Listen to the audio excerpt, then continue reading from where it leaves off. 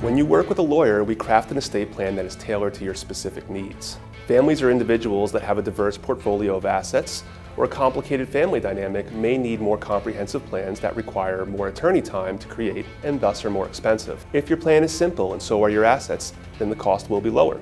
When you speak with an attorney, they'll be able to assess your situation and goals and provide a price for creating an estate plan based on your individual needs. Sign up for my free webinar every Monday at 7 p.m. by clicking the link in the video description.